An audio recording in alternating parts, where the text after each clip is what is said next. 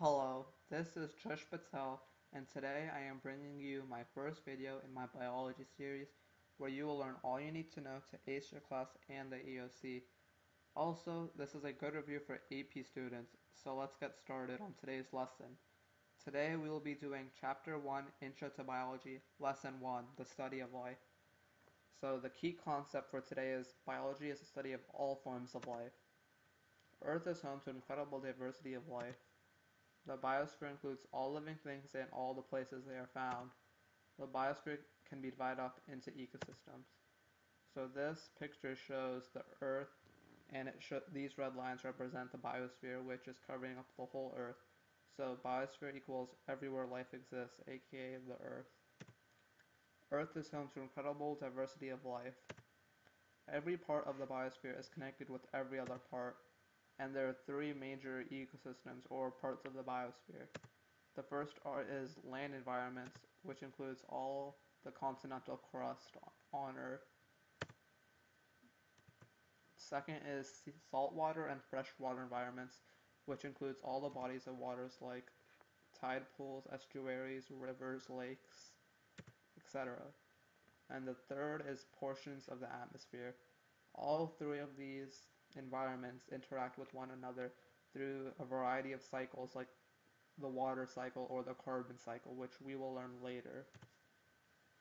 Biodiversity is the variety of life.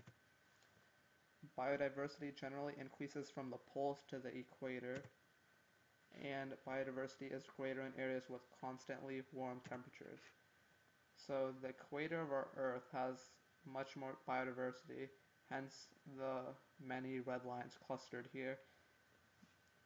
It's dense there because there is warmer temperatures where most animals and plants thrive in, but the poles are too cold and it kills most of the animals and plants living there. A species is one particular type of living thing. Members of a species can interbreed to reproduce.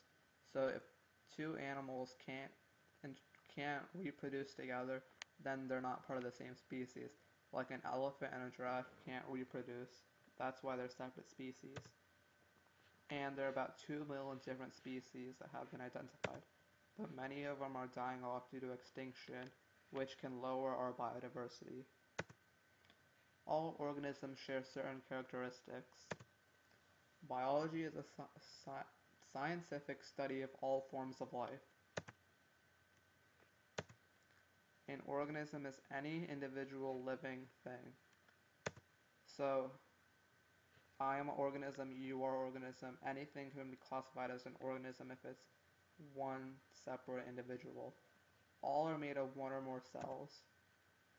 So, um, an organism can have one cell or more cells. So, we can be organisms, but also like a one-celled bacteria is also considered as an organism and they all need energy for metabolism. And metabolism is basically like homeostasis, just keeping you alive. And all respond to their environment.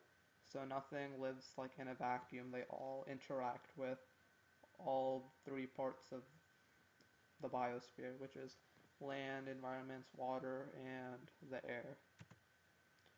All have DNA that they have to pass on to their offspring.